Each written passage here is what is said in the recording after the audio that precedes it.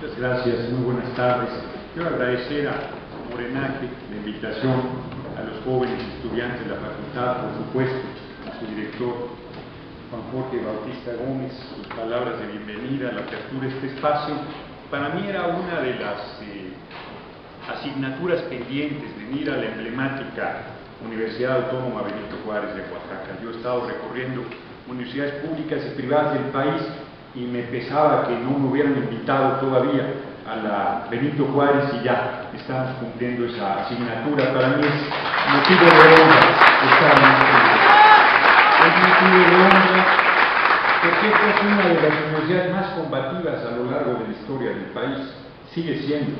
La Universidad de Puebla, la Autónoma de Puebla, la Benemérita, fue muy combativa, se nos ha derechizado mucho.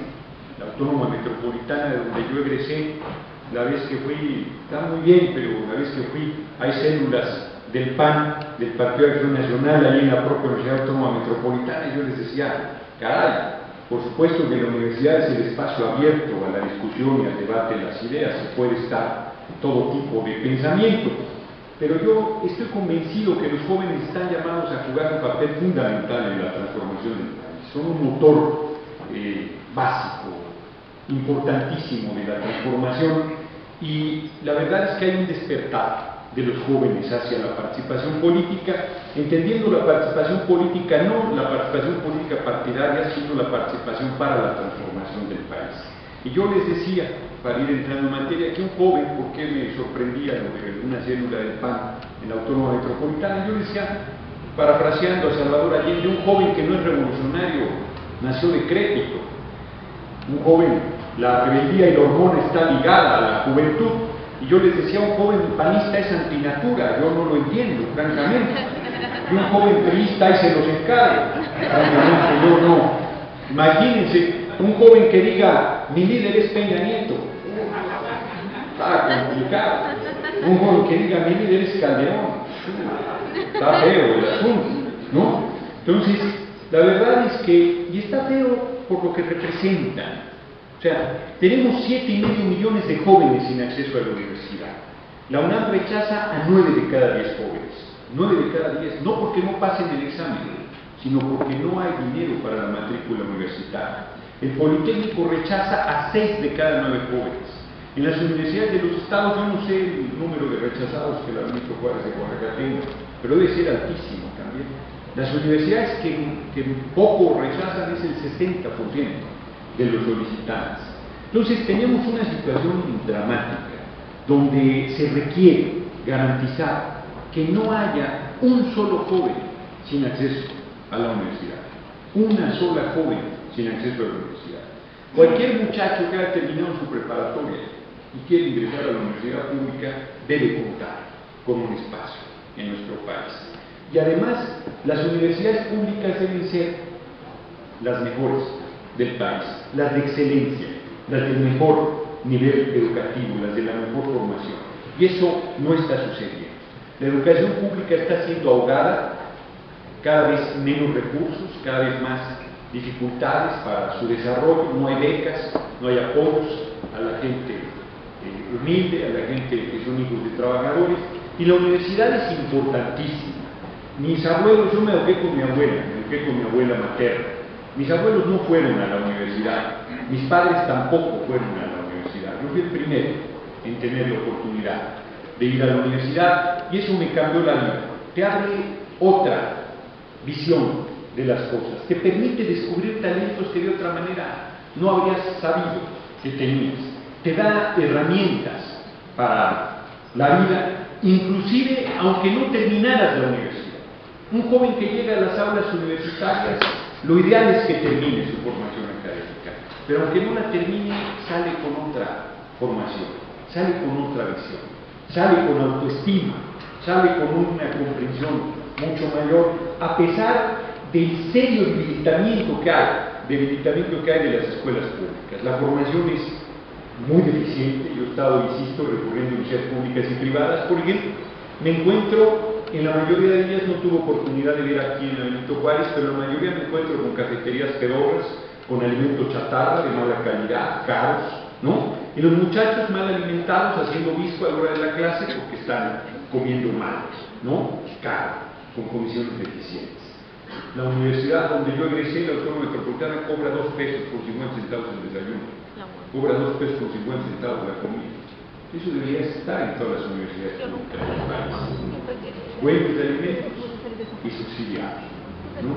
Debería existir becas para los jóvenes para que pudieran estudiar, debería haber apoyo de un diverso tipo. Y cuando uno habla de estas cosas, dice populismo. ¿Cómo va a ser populismo? ¿Cómo va a ser populismo que la gente tenga lo fundamental? ¿Qué es lo fundamental? La gente lo que requiere, porque miren, antes de ir a lo que requiere, ya de 7 y medio millones de jóvenes en acceso a la universidad. Bueno, entonces, ¿qué hacen? ¿Se van a trabajar? No hay empleo. Yo he recorrido todos lados y lo que más me pide la gente es empleo. Quien es joven porque es joven, quien salió de la universidad porque salió, quien no entró porque no entró, quien es maduro porque es maduro, quien es mayor porque es mayor, no hay empleo. Y el poco empleo que hay, mal pagado. El outsourcing famoso, ¿no? Sin seguro social, sin pagaciones, sin aguinaldo, sin pensión, sin jubilación, sin ninguna prestación de ley. Por eso yo a los que no saben hablar inglés y me dicen que qué es outsourcing, les digo que outsourcing quiere decir te vamos a joder porque es liquidar todos los derechos de los trabajadores, no darles ninguna oportunidad de nada y lamentablemente, no sé si sea el caso del gobierno de Oaxaca, espero que mi compañero Gabino Cuenca esté haciendo eso, pero en el caso del Distrito Federal hay empresas outsourcing. En el caso de la Cámara de Diputados tenemos trabajadoras de limpieza de 1.200 pesos mensuales, sin ninguna prestación, sin ningún derecho. Bueno, hay universidades que tienen esta situación. Me invitaron a los, no me acuerdo que eran 80, no sé cuántos años del Politécnico Nacional, y a la hora que voy al baño me encuentro unas trabajadoras de una empresa externa al Politécnico de limpieza. Entonces cuando yo regreso a hablar con la directora y está hablando del presupuesto, del presupuesto multianual y de las necesidades de hacer una serie yo le digo, oye directora, pero es que el futuro de los estudiantes de Politécnico es el de los, trabajadores de limpieza, sin derechos, sin prestaciones, sin el mínimo legal establecido, en condiciones absolutamente inaceptables. Porque el buen pues, como decía mi abuela, por su casa empieza y nosotros tenemos que garantizar que haya derechos laborales plenos en todos los espacios donde nos desenvolvemos. Entonces, lo que la gente quiere es empleo y es pagar con prestaciones de ley. Educación, para todos, salud para todos, dice Calderón, que tiene nuestro país 100% de cobertura médica con el seguro popular, que ni es seguro ni es popular. Yo he retado a Calderón a que renuncie a su seguro médico privado y se atienda en el seguro popular, a ver si le gusta. Yo me atiendo en el seguro social, yo renuncié a mi seguro médico privado. La última vez que me enfermé que llegué al seguro social, dije, me quedé pensando, es que qué necesidad, qué necesidad está el seguro social caliente.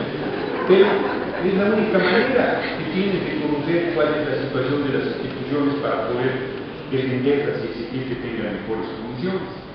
Entonces, salud para todos, alimentación para todos. Es inaceptable que haya gente con hambre en nuestro país cuando es un país con muchísimos recursos, además la riqueza se produce con trabajo, no se produce de ninguna otra manera, gente con hambre, niños, ancianos, adultos, jóvenes, con hambre en nuestro país, cuando tenemos al hombre más rico del mundo, por otro lado, vivienda, la gente viviendo como muegan tres, cuatro, hasta cinco familias en una casa, no porque se quieran mucho, sino porque no hay vivienda desde hace mucho tiempo. ¿no? Estas son las cosas fundamentales que nosotros tenemos que modificar, porque si no las modificamos, lo que estamos generando es, otra vez, el, tema, ¿qué opciones tienen los jóvenes en este país? Si nueve de cada diez son rechazados de las universidades públicas, o seis de cada diez, y luego van a buscar empleo y no hay empleo, entonces las opciones que quedan son pocas. O irse al apostolado del servicio público con Genaro García Luna en la Policía Federal, según Calderón, ¿no? Irse al narco o migrar a los Estados Unidos. La comunidad guardiana en Estados Unidos es enorme, enorme, de millones de hombres y mujeres valiosos, capaces, que se tuvieron que ir a otra tierra, a otro idioma, a otra cultura para salir adelante, y lo hacen. Y no tienen absolutamente nada. Acabo de estar a finales de año en San Diego con una muy grande comunidad oaxaqueña en la Guelaguetza hombres y mujeres que trabajan muchísimo todos los días y no tienen nada más que lo que ganan al día, no tienen seguridad social, no tienen asegurada ninguna pensión, ninguna jubilación, si sufran un accidente se hacen cooperacha y entre todos para repatriar los cadáveres a, a su estado, o sea, es una situación lamentabilísima, a pesar de que las divisas son tan importantes como el ingreso petrolero en nuestro país. Y el ingreso petrolero en nuestro país es del 38% del presupuesto nacional. Entonces, tenemos que transformar estas condiciones existentes en el país para poder generar oportunidades para todos, no solo para los jóvenes, para todos, y que tengamos un país de libertades, de condiciones de vida digna. Y como aquí lo mencionaba el director artista en relación a Oaxaca, yo a todos los lugares a donde voy invito a la gente a luchar, a organizarse, a participar. El pueblo oaxaqueño tiene una larga historia, una larga tradición de lucha. Yo justo les comentaba, si se lucha se puede perder, se puede ganar, pero si no se lucha todo está perdido. Aquí en México no existe la revocación del mandato. Para quitarse un alcalde corrupto, a un alcalde que haya mentido, a un alcalde incapaz, hay que tomar el ayuntamiento y exigir su salida en esto. Oaxaca y el país tiene una larga historia. Para que un gobernador se vaya, igual había que generar poderosos movimientos populares y vivimos en el 2006 un par de casos donde gobernadores muy repudiados, como era Ulises Ruiz en Oaxaca y como era Mayo Marina en Puebla, ni a pesar de los poderosos movimientos populares logró su salida. Después vino el desquite en el caso de Oaxaca con un compañero como Gabino Cueca, iba batallando, pero es un hombre sensible, es un hombre comprometido. En el caso de Puebla, la gente tuvo que optar entre el horror y el espanto, entre el propuesto por Mario Marín y el hijo político de Esther Gordillo, ¿no? Que me dicen que sea, yo les digo que no, lo que pasa es que se le refleja el alma en la cara.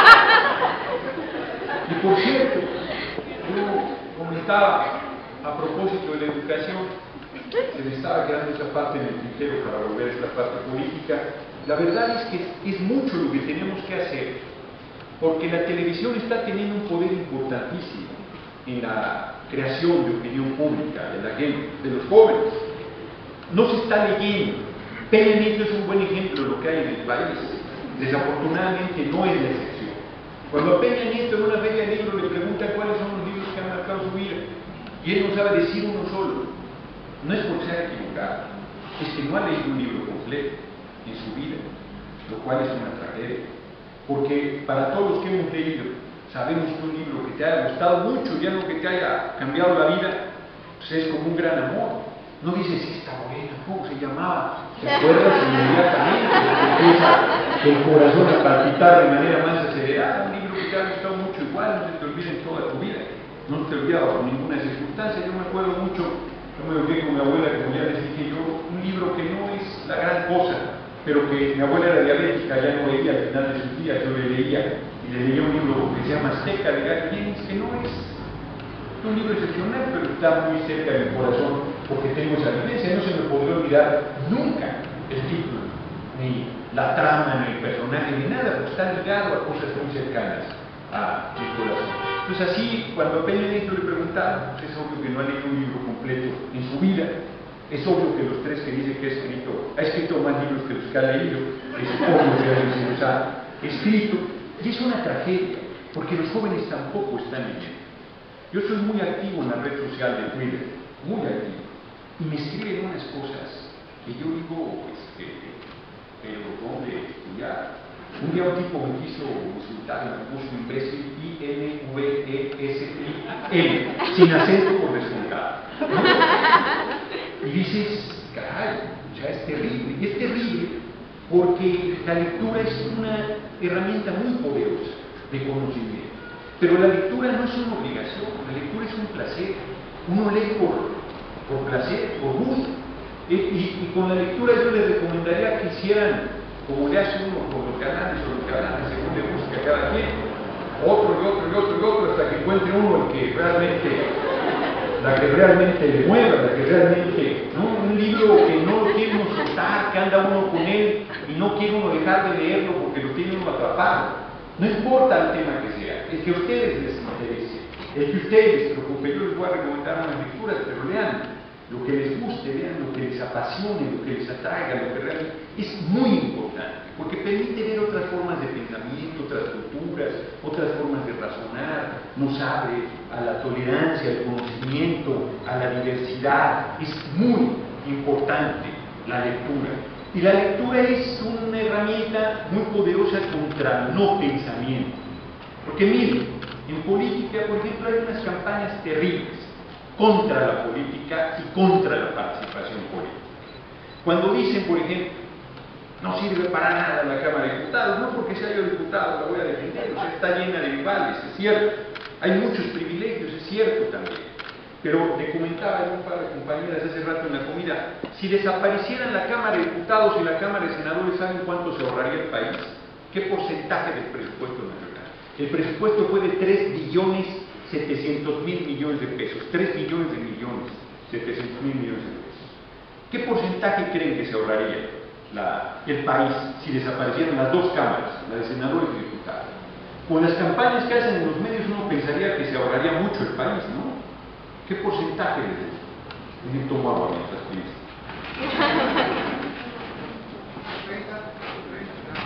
30%, dice alguien por ahí, ¿quién da más?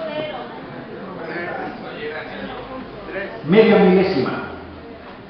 Media milésima del presupuesto nacional se ahorraría el país. ¿Me explico? Ya hay una campaña permanente, canalla, contra las cámaras que no sirven, que son una bola de irresponsables, que son privilegiados. Y lo peor, nos, hay sectores del pueblo que nos dicen que aprobemos las reformas que el país necesita. Cuando las reformas es la reforma laboral para hacer el outsourcing ya legal, para que la gente no tenga seguro social, no tenga aguinaldo, no tenga vacaciones, no tenga pensión, no tenga jubilación, y hay trabajadores que nos dicen que aprobemos la reforma laboral.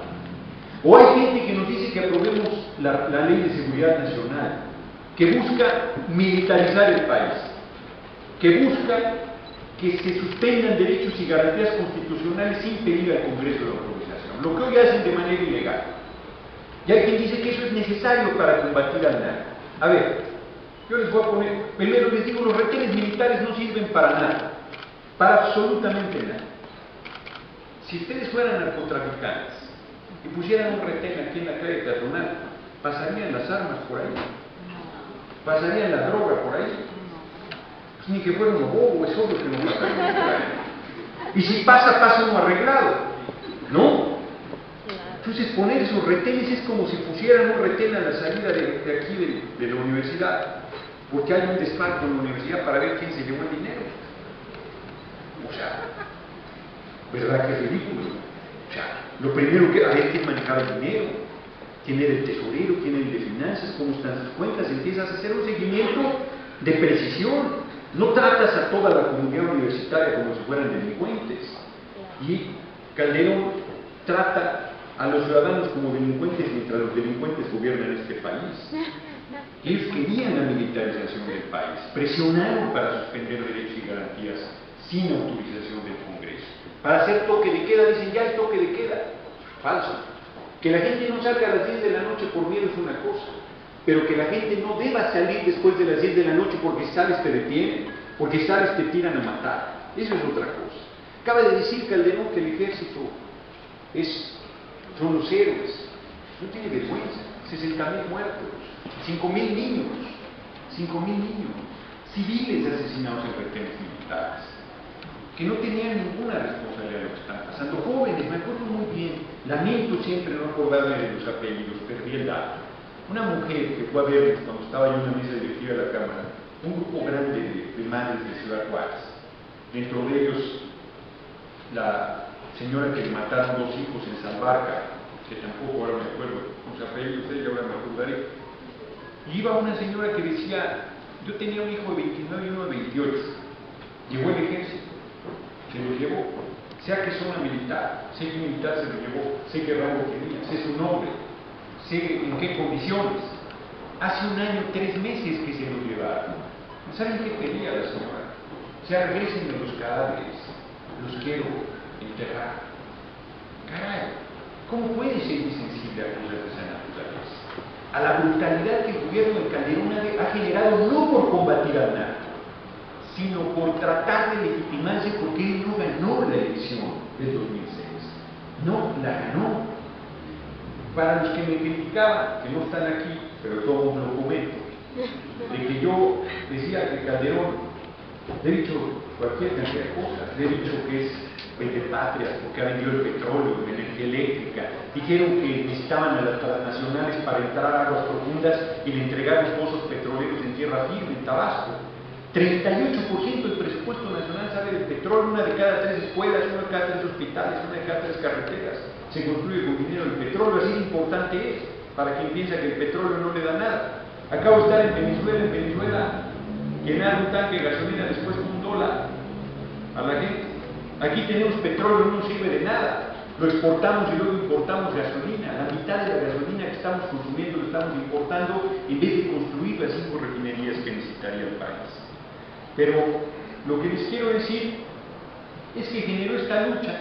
Bueno, yo le he dicho Patrias, de hecho que estaba vinculado al narco, está el libro de Anabel Hernández, Los Señores del Narco, que acredita de manera muy puntual los vínculos de Calderón y de García Luna con los grupos del narco, con el Chapo Guzmán particularmente. Le he dicho asesino, le he dicho cualquier cosas. Y le dije borracho y se volvió loco. Es lo único que le ha dolido. Y luego decían que yo mentía. Ya este libro que acaba de salir de Julio Scherer, que se llama Calderón de Cuerpo Entero. A mí me preguntaban, ¿qué pruebas tienes? ¿Te he invitado? No, a mí no me invitan a sus borracheras, yo no soy tu amigo, yo no tomo y si tomara no tomaría con él. Entonces, ¿no? Ahí está el libro, se lo recomiendo. Claramente, se acredita que se robó la presidencia, que tiene un problema de alcoholismo, y no es un asunto menor, no es un asunto menor. Si tú conduces en estado de ebriedad, te vas detenido. Puedes causar un accidente muy grave. Pilotos que han conducido su avión en estado de ebriedad los suspenden. ¿Cómo vas a conducir un país en esa situación? Es una situación. Cualquiera de nosotros ha tratado con un borracho. Se ponen densos, se ponen complicados, ¿no? Imagínense con el poder que tiene la presidencia de la República. Entonces no es un detalle menor, ¿no? Ocurre Entonces, la verdad es que tenemos una situación muy difícil, no solo de educación. He querido hablar de todos los temas porque el problema no es solo la falta de educación. O sea, claro, fue Molinaro Casitas a comparecer y dice, vamos a meter en las escuelas el Internet más moderno del mundo. Yo digo, no seas desvergonzado. Las escuelas necesitan cristales, necesitan pizarrones, necesitan maestros, necesitan pupitres, los baños están ni para porquerías en muchas escuelas públicas del país, de primarias, de secundarias, de preparatorias, algunas veces de escuelas superiores. ¿Qué internet ni qué? Nada. Lo que se requiere es una inversión muy importante en educación, que no es solo la infraestructura, no solo los salarios, las becas, hablé, comedores, toda una serie de cosas que tendríamos que desarrollar. Yo vuelvo a insistir que las escuelas públicas deberían ser de excelencia en este país, las mejores. ¿no? Si alguien quiere pagar la educación privada, que la pague, pero las mejores deben ser las escuelas públicas. Debemos lograr que sean las mejores y que no haya un muchacho o una muchacha sin acceso a la educación superior. Esas cosas tendríamos que lograrlas. Y para lograrlas tenemos que cambiar el régimen político que vivimos. Yo a todos lados, a donde he estado yendo, y hasta se me está olvidando, muy mal, por cierto, pero a todos lados, sea cual sea el tema del que hablar, siempre he hablado de la importancia de lograr la renuncia de Felipe del Sagrado Corazón de Jesús Calderón. Así se llama, así se llama. Yo me acuerdo cuando el español se enojaba, cuando yo le decía me decía, no, ya, ya está muerto políticamente, digo, qué bueno está muerto, imagínate si, estuviera vivo, las reglas que nos pone así. Este, no, Calderón es un tipo muy peligroso, va a hacer todo por quedarse en la su partido en la presidencia de la República. Y no es, no es tonto. Calderón puede tener muchos defectos, pero no es tonto. Tenemos que, no está fácil, no está fácil. Yo les decía antes de que se decidiera sobre Josefina Vázquez Mota, el PAN la tenía difícil, Cordero es un candidato que no entusiasmaba ni a su mujer, era muy difícil. Pero Josefina Vázquez Mota es muy panista. ¿Qué quiero decir con esto? Es muy hipócrita. Representa una cosa diferente lo que. Fíjense, dice que es mujer, que es feminista, y resulta que tiene en su equipo como coordinador de tiras a un tipo que es diputado federal, John Moral, que atropelló a un hombre y lo dejó ahí muerto y se fue. Y luego no le pagó a la familia ni para el ataúd. Eso lo hizo hace más de 15 años. Cuando yo se lo cuestioné, no me dijo, no es cierto, me dijo, eso fue hace más de 15 años. Y luego se fue a insultar a mi asistente, a Marta a decir barbaridades. Y ese es el coordinador de giras de Josefina Vázquez Mota.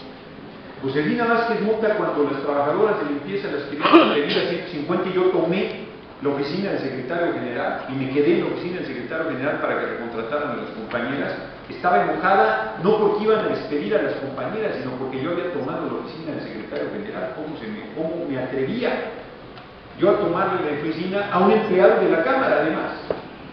Que la oficina de él está mejor que la de cualquier diputado. Tiene un elevador que llega directo a su oficina, tiene un baño con hidromasaje para las partes nobles y sentimentales. Yo nunca utilicé el baño, hay una lentera, ¿verdad? Dicho. Entonces, y estaba enojada por eso, porque estaba tomando oficina no por las 150 trabajadoras muy humildes de limpieza, outsourcing, que siguen siendo outsourcing en la Cámara, con 1.300 pesos mensuales. Ese es Josefina Vázquez no. Enrique Peñanito no solo no lee, está pensando hacer lo mismo que Calderón seguir rematando el petróleo, seguir rematando la energía eléctrica, seguir militarizando el país, seguir subordinado al gobierno de Estados Unidos. Es una situación exactamente en el mismo sentido, el mismo proyecto económico neoliberal, el mismo proyecto económico. Y Andrés Manuel López Obrador, al cual es público, que apoyo con todo, yo creo que es la única posibilidad, ese movimiento de transformación del país. Y yo creo que ese movimiento, fíjense, yo voy terminando ya, lo que requiere es más que, tenemos que lograr un cambio muy importante. Ese cambio muy importante es romper con la idea de que alguien va a cambiar las cosas, de que alguien nos va a resolver la vida, de que va a venir ese líder o ese ente milagroso que va a cambiar lo que existe en el país, eso no va a suceder. Ni Andrés Manuel ni nadie va a cambiar las cosas en el país. Necesitamos la organización, la participación y la lucha de la gente para cambiar las cosas. No se puede de otra manera. Cualquier líder político que venga a decirles que él va a cambiar las cosas lo está engañando. Se requiere la organización, la lucha y la participación de la gente. Sin esa no hay ninguna posibilidad de transformación y en esa lucha por transformar al país, los jóvenes están llamados a jugar un papel destacadísimo, importantísimo. Porque vuelvo a insistir, un joven que no es rebelde no es joven. Un joven de crédito, yo decía viejo, pero alguien me reclamó, me dijo, oye, si habemos viejos combativos. Y yo además ya me estoy acercando a esas, a esas alturas. Y sigue siendo combativo. Ese es el tema. Ese es el tema, por eso yo ahora digo que un joven que no es revolucionario nació de crédito, ¿no? Insisto, la rebeldía y la hormona están ligadas a la juventud, son parte fundamental. Entonces, pero hay que romper con esa idea de que alguien va a venir a cambiar las cosas, que alguien va a resolver o hacer la tarea que nos corresponde a todos llevar a cabo. Es cierto que quien más responsabilidad tiene, pues más tiene que hacer más obligado está a cumplir, pero eso no nos exime a nadie de hacer nuestra parte en la tarea. Y va a ser muy difícil.